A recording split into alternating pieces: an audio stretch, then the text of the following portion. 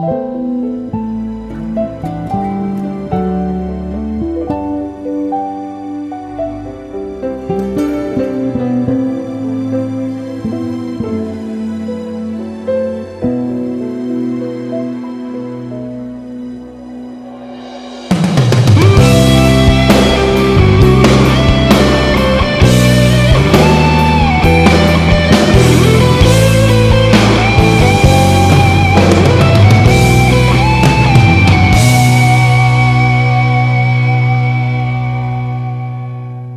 나 가진 건 없지만 널 사랑했다는 이유로